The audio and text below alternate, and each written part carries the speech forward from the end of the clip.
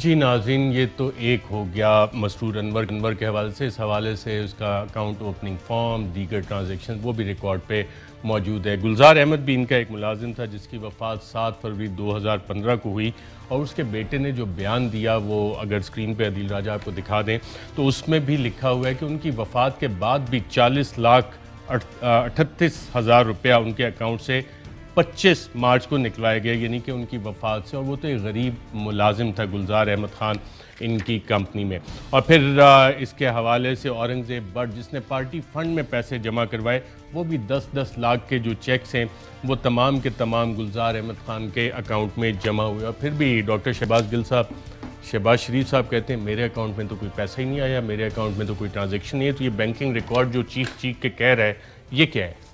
अच्छा पहले तो मुझे ये जवाब दें कि कभी भी कोई सरमायादार जो सरमायादार होता है वो कभी गलत जगह इन्वेस्टमेंट करता है गलत बंदे को पैसे जमा करवाता है पहले बनाए जहाँ से उसे वापस कुछ ना आना। मुझे पता नहीं सरमायादार मेरे दोस्त नहीं है। लेकिन नहीं कर सकता ना। अकल की बात है क्यों गलत जगह पर? ये गुलजार अहमद साहब फौत हो गए थे। अब शरीफ फैमिली असल में इंतज़ाम कर रही है मरने के बाद का।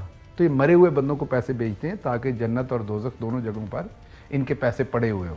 मरे हुए बंदे को आप तभी पैसे भेजेंगे ना? वरना तो, तो मुलाजिम था उनकी वफात के बाद भी वहाँ से फिर पैसे निकलवाए वही मैं कह रहा हूँ मरे हुए बंदे से भी लेन देन करते हैं ये जन्नत और दोजक से भी लेन देन करते हैं बड़ी आला आला किस्म का इनके कॉन्टेक्ट हैं। इनके कॉन्टेक्ट दोजक के अंदर भी हैं इसलिए तो वोट भी सारे मरे हुए नून लीग को डालते हैं। जितने मुर्दे होते हैं उनके सबके वोट जो है वो नून लीग को पड़ते हैं। पैसे भी मरे हुओं के अकाउंट में भेजते हैं ये पैसे उनके अकाउंटों से निकालते हैं। तो सारा लेन देन दोजक के साथ है इनका। वो कहते हैं ना कफन में जेबें नहीं होती इनके हैं। ये कफन से पहले ही अपना पैसा वहाँ भेज लेते हैं। तो दूसरी बात यह है कि आप इनकी कौन कौन सी चीज़ दिखाएँगे?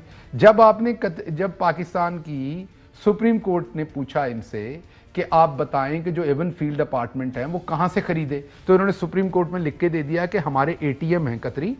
दूसरों को एटीएम का ताना देते हैं। सुप्रीम कोर्ट में लिख के दे दिया कि हमारे एटीएम हैं कतरी उन्होंने हमारे वालिद को या दादा को ये अपार्टमेंट दे दिए तो और ऐसे ही दे दिए थे मुफ़्त में। तो हर जगह पर इनका इनका तल्लक है। हमारी गवर्नमेंट की एक नाकामी है। जो मुझे नहीं पता क्यों शहजाद अकबर साहब क्यों नहीं कर रहे, हमारे दूसरे दोस्त क्यों नहीं कर रहे। हमें एप्लीकेशन देनी चाहिए, इनकी ये तमाम इन्वेस्टिगेशन लाइव टेलीविज़न पे आनी चाहिए। ताकि आवाम को पता चले कि ये जो अंदर जवाब देते हैं, वो क्या जवाब देते हैं? इनसे सवाल क्या होता है और वापस जवाब? बड़ी इंटरटेनिंग होगा यकीन करें। और अगर नेटफ्लिक्स पर डाल दें ये वाली जो रिकॉर्डिंग होगी अंदर की तो पाकिस्तान मिलियंस ऑफ़ डॉलर्स कमा लेगा। इससे यकीन कीजिए इनकी एपिसोड्स जो है ना इस इस पूरे घराने की तो को सुप्रीम कोर्ट ऑफ़ पाकिस्तान में तो वहाँ तो वीडियोस रिकॉर्ड हुई थी वो पब्लिक कर दें। मैं कल प्राइम मिनिस्टर साहब से भी ये गुजारिश करूँगा। अटॉर्नी जनरल साहब दरख्वास्त कर सकते हैं सुप्रीम कोर्ट मैं कल ये प्राइम मिनिस्टर साहब से फॉर्मली दरखास्त करूँगा। कि जी ये मेहरबानी करके ये तो एक एक हम हुकूमत के तौर पर अदालतों से नवाज़ नवाज़ शरीफ शहबाज शरीफ हुसैन नवाज़ हसन इसहाक डार सबके वीडियो बयान मौजूद हैं और वो रिकॉर्ड में जमा है अटॉर्नी जनरल उसे पब्लिक कर सकते हैं। मरे हुए बंदे भी हैं मैंने तो अभी अभी बताया दोजक और जन्नत के साथ भी कनेक्शन निकाला हुआ है। इलेक्शन कमीशन ऑफ़ पाकिस्तान की स्क्रूटनी रिपोर्ट पीटीआई को कितना खतरा है इससे?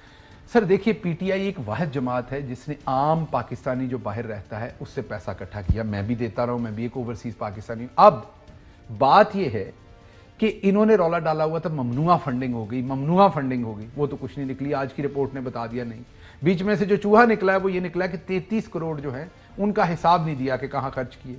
उन तैतीस करोड़ का भी आज फवाद चौधरी ने हिसाब दे दिया कि 16 करोड़ की एक ट्रांजैक्शन आप डबल गिन रहे हैं।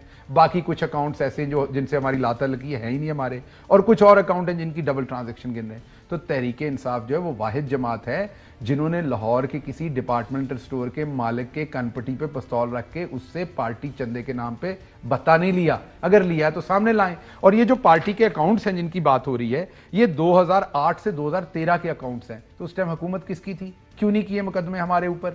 ये 2008 से 2013 के दरमियान के सारे अकाउंट्स है ना? तो अगर पाकिस्तान तहरीक इंसाफ कुछ गलत कर रही थी तो पंजाब में रंजीत सिंह का छोटा भाई था। मीन मैं ड्यूरेशन के हिसाब से कह रहा हूँ शहबाज शरीफ साहब। और ऊपर नवाज़ शरीफ साहब खुद बराजमान थे। तो ये जो 2008 से 13 में हमने गलत काम किया था, इसकी हमारे खिलाफ कार्रवाई क्यों नहीं की एफआईए ने? इसकी कार्रवाई इलेक्शन कमीशन ने क्यों नहीं की? इसकी मनी लॉन्ड्रिंग स्टेट बैंक के थ्रू हमारे ऊपर कार्रवाई क्यों नहीं की?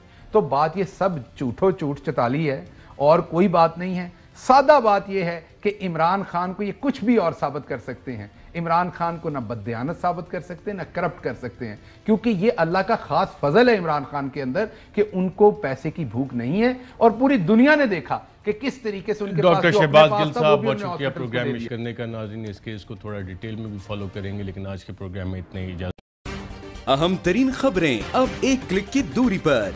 आपके पसंदीदा टॉक शोज़ हों या अहम मुल्की या गैर मुल्की शख्सियात की न्यूज़ कॉन्फ्रेंसेस हर लम्हा बाखबर रहने के लिए सब्सक्राइब करें हमारा यूट्यूब चैनल मौसम की सूरत हाल हो या खेल के मैदान से खबरें, अपने मोबाइल फ़ोन से मुल्की और बैन अवी अहम खबरों तक रसाई के लिए डाउनलोड कीजिए मोबाइल ऐप बावसूख जराये से मुसदा खबरों तजियों और तबसरों से मुस्तफीद होने के लिए विज़िट कीजिए पाकिस्तान की सबसे बड़ी न्यूज़ वेबसाइट, www.arYnews.tv इन सब के अलावा पाकिस्तान का सबसे बड़ा फेसबुक पेज हो, सबसे बड़ा न्यूज़ इंस्टाग्राम अकाउंट या फिर Twitter A R Y news पहुँचा रहा है खबरें सबसे पहले आप तक, ताकि आप रहें हर लम्हा बाखबर।